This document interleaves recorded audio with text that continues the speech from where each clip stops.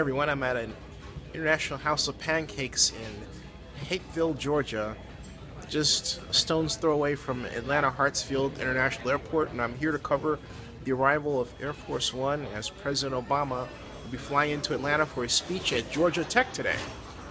Stay tuned to Zennie 62 Media. This is um, interesting. So uh, I've got it's like a slice of life in this place. It's got the check-in back there, and I've got my computer work back here because I'm ready to do my you know work on my computer, and um, got my uh, see that cranberry juice, water, and coffee.